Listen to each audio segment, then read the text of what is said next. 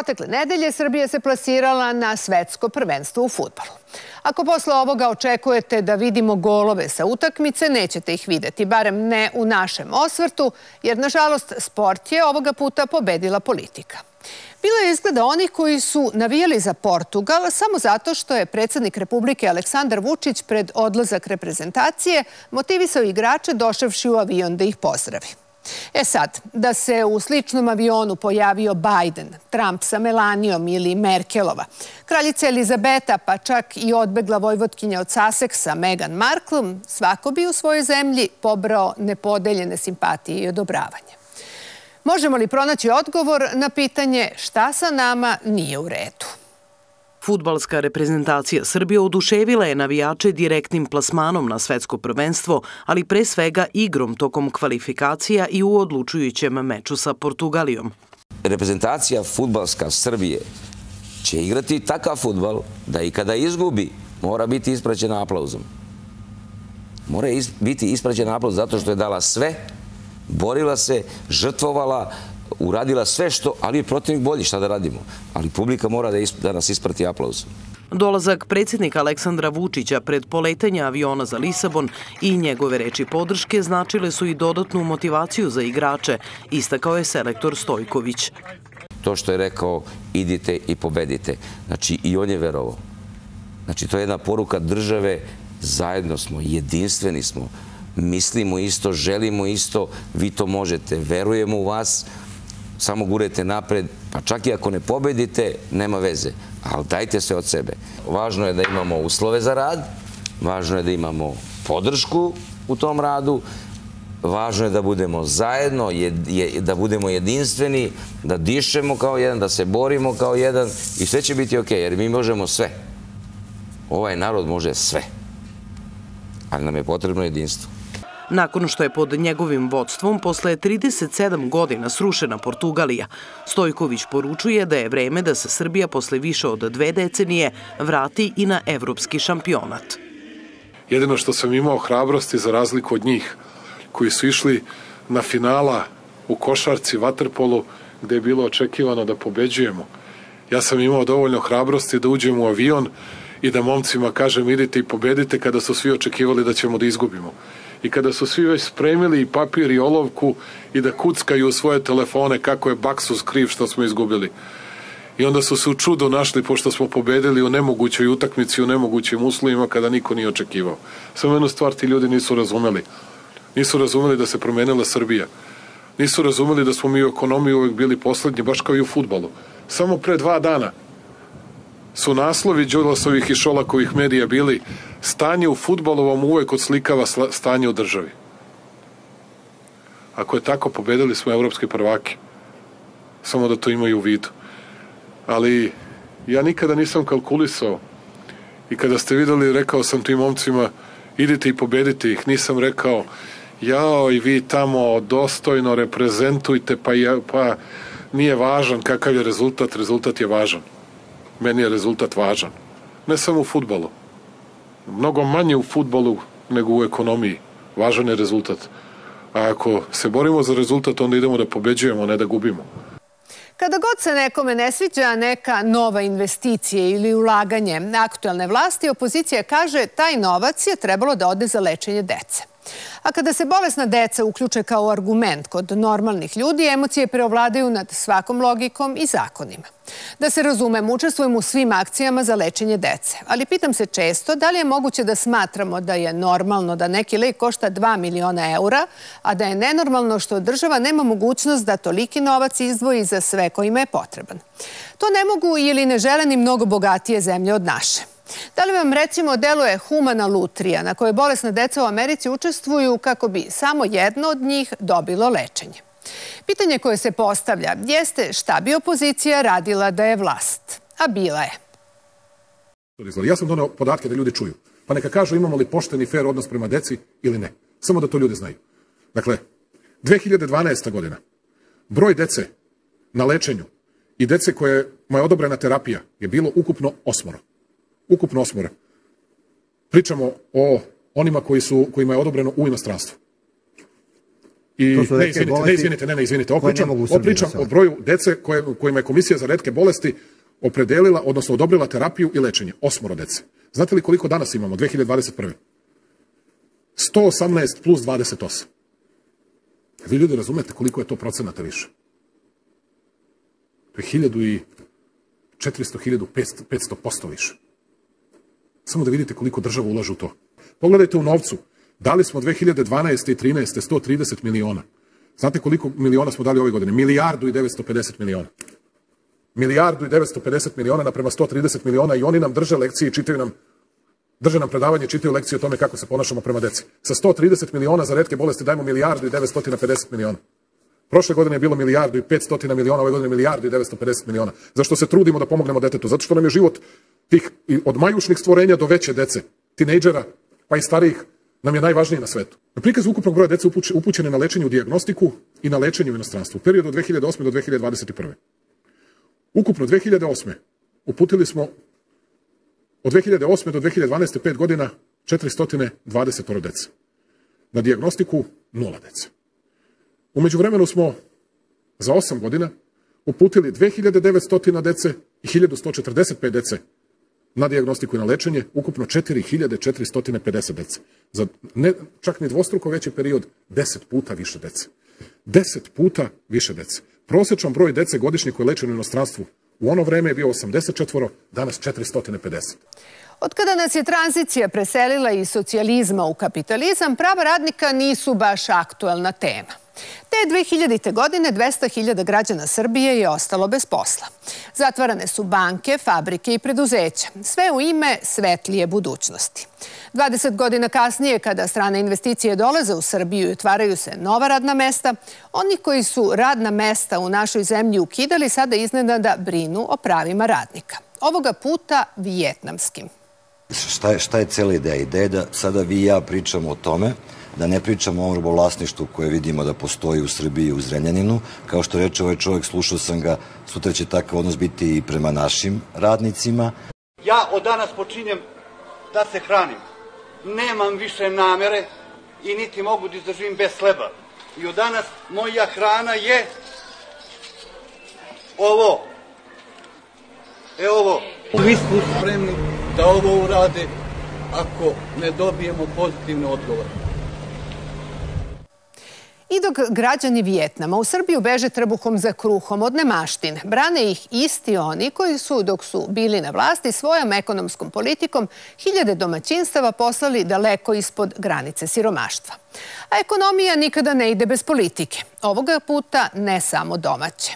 Pitanje koje se nameće je kome i za koji račun smetaju kineske investicije u Srbiji. Šta želite sa Linglongom? Nema problema, poslali smo inspekciju. Da ste me pitali, nisam sasvim razumeo ni potrebu slanja inspekcije, ali nije mogla Darija da izdrži pod pritiskom ni Toma, ni svi ostali, nisu mogli da izdrže pritisak medija. I oni su pod tim pritiskom to uradili. Dakle, i to smo uradili. A šta hoćete, da uništimo investiciju od 900 miliona dolara? Samo ne razumijem šta je smisao sve te kampanje. Ako je inspekcija ustanovila da su uslovi loši, oni će napraviti bolje uslove i kraj priče. Ne razumem samo čemu ta vrsta hajke. To da me ubedite da ste zabrinuti za vijetnamske radnike. E, ljudi, znamo se dobro. Znamo se dobro. Pa niste brinuli o srpskim radnicima, srpskoj deci ste govorili da za njih pravite nešto, pa ste pravili studio velikog brata i otimali pare od toga. A sad ste zabrinuti za Vijetnamce. Niste zabrinuti za srpsku decu, ali ste zabrinuti za Vijetnamce. E nemoj mene da folirate i da me lažete. Možda nekog drugog da lažete, nemoj mene da lažete. Gledat ćemo da pomognemo i Vijetnamcima i svima drugima, ali da rasterujemo investitore nećemo, zato što je krvavo težak posao dovesti investitora u našu zemlju. Mnogo težak posao, a u tome smo ubedljivo najuspešniji u srpskoj istoriji. I zato sam ponosan i na ovu fabriku i na svaku drugu fabriku koju u Srbiju dovedemo. A to, pljunuti po svakome, istarati, izbaciti svakoga, a onda reći dajte nam plate. Pa od čega, izvinite? Gledam sinoć na RTS-u copy-paste onoga što gledam, što mi pošalju kao izveštaj za N1 i Novo S oko Linglonga. Super. A onda dođete pa kažete, jel možemo da povećamo plate? Od čega da povećate plate? Pošto vi niste napravili tu novu vrednost. A od čega?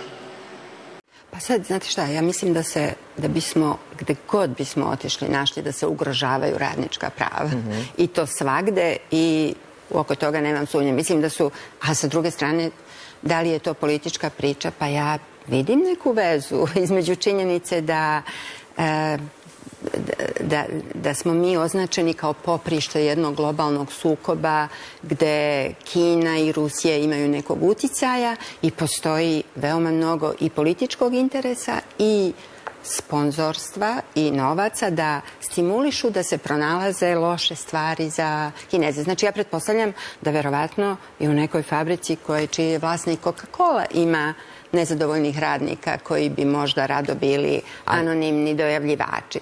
E, prema tome, mislim da se sigurno krše radnička prava. To možete zatvorenih očiju da kažete za bilo koju firmu i da bi se to moglo naći. Sa druge strane, sigurno u tome ima i političko. Postoje lovci na kineski uticaj, lovci e, koji traže dokaze za one kojima se sve to sviđa, da, da, da su kinezi, da kinezi imaju, kako ono, oni stalno govore, toksičan i maligan uticaj. Uslovi rada nisu tema samo u Srbiji. I dok nam ovde pametuju razni lobisti, poput Viole von Kramon, na situaciju u svojoj zemlji u kojoj radnici iz istočne Evrope rade 60 ili više sati nedeljno i spavaju u ucrvljanim straćarama u uslovima gorim od onih u Linglongu, gospođa evroparlamentarka ne reaguje. Otpor je sve veći, pre svega zbog uslova rada u Westflajšu. Tu rade stotine istočnoevropskih radnika. Rade 60 sati nedeljno ili više. Ljudi koji moraju da spavaju u ucrvljalim i prepunim straćarama, ljudi koje dovode ovamo na posao u prepunim autobusima i kombijima. To je veliki potencijal za ugrožavanje. Želim da protestujem protiv toga. Izveštaji o lošim uslovima života nisu novi, ali sada raste broj inficiranih, što ima posledice za sve u ovom okrugu. Dragan Đilas ponosno najavljuje predlog novog zakona o radu, koji stiže iz sindikata Sloga, a koga predvodi Željko Veselinović, član Saveza za Srbiju koji je na grub način vređao žene u srpskoj politici. Čudi da na ovo nije reagovala potpredsednica stranke Slobode i pravde Marinika Tepić, koja je poznata po tome što štiti ženske interese. Žene ili vjetnamci? Pitanje je za SSP novi zakon o radu, mogu da vam kažem da je sindikat sloga napisao na ozbiljan zakon o radu. Član Saveza za Srbiju Željko Veselinović na najgori mogući način izvređao je premijerku Anu Brnabić, koristeći ogavne reči i izraze. Između ostalog nazivao ju je fikus premijerkom, lezbejkom, ali se na uvredama nije zaustavio, nego je javno pozivao na njeno silovanje, poželevši joj obdarenog afroamerikanca, tek izašlog iz zatvora. Ste razmišljali o tome da on možda bude isključen iz Saveza za Srbiju? Ne. Savez za Srbiju i nema tu mogućnost da isključuje ljude. Prošle nedelje održan je drugi krug lokalnih izbora na Kosovu i Metohiji. Albanski narod na Kosmetu pokazao je da mu je dosta napetosti i sukoba koju donosi politika Aljbina Kurtija, predsednika vlade takozvanog Kosova. Njegova stranka Samoopredeljenje je od 12 opština na kojima su izbori ponovljeni dobila tek četiri, izgubivši Prištinu i Gnjilane, dok je Srpska lista osvojila svih 10 od 10 opština na kojima je imala kandidate. Šansa koju je takozvani kosovski premijer Albin Kurti dobio na parlamentarnim izborima izgleda da je propuštena, a poverenje građana izgubljeno, govore rezultati lokalnih izbora.